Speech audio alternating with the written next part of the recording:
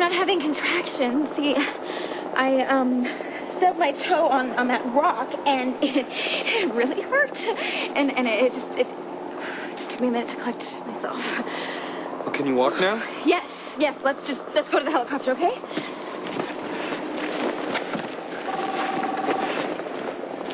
Hold on, it's a helicopter pilot. Yeah, what is it? I'm almost to the clearing. Where are you and Mrs. Crane? Look, we're on our way. We got held up. Hurry! With this wind, the trees around the clearing are looking too close for comfort. I won't be able to keep the copter steady much longer. All right, we're on our way. All right, we have to hurry.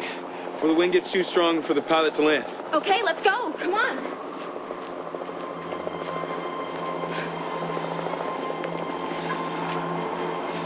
Bye, Gwen.